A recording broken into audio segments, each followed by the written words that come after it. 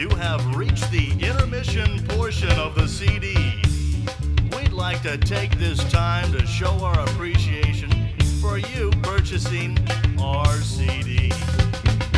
We really like you and want to keep you as loyal followers of the My Superhero Fan Club. Take your pencil and paper out right now and write down this address. Just kidding.